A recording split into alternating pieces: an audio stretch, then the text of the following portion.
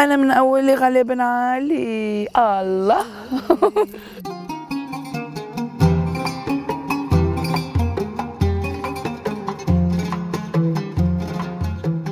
ما كانش في إنترنت زي دلوقتي ما كانش في تلفزيون زي دلوقتي. كان عندنا طول اليوم ما عندناش حاجة نعملها.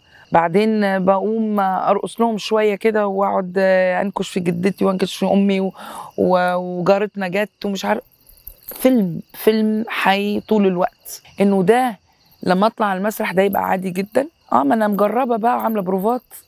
طول حياتي.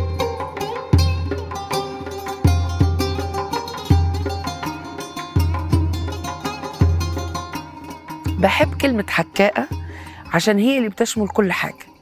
إنك تكون حكاء وفجأة وأنت ب... وانت بتهزر بتقول حكاية وانت.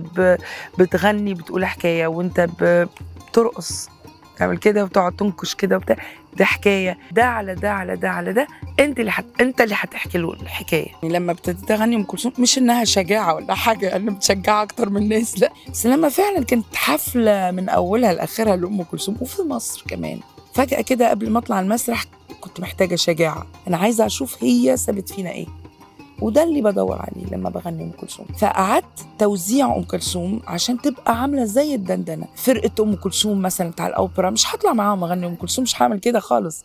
عشان ساعتها هيبقى في مقارنة. حبيبي يلا نعيش بعيون الليل. يلا نعيش الناس لمت عليا كتير الحاجات ما بتوصلش. يعني مقصرة فعلا هو ده اللي خلاني أطلع من البيت وأروح أدور على منتج. عندي ألبوم مصري في كذا قصيدة تجنن. تيجي أنت تقول لي لا ما فيش سوق لده. أو تقول لي السوق طالب منك ثلاث دقايق حاجة خفيفة انت كلامك كتير. فنفسي ألاقي طريقة كده بتوصل الحاجات وبعدين الناس تحكم عجبها ما عجبهاش ترميها ما ترميهاش وفي تعليقات بتيجي في أوقات بكون مش عارفة محتاجاها بجد بتيجي. بحب لما يكتبوا الغالية. لو كتبوا الغالية خلاص ده بس كده. إحنا بنتكلم لغة واحدة. الأرض بتتكلم عربي الأرض الأرض. كان معاها حق والله الله يرحمه. سيد مكاوي.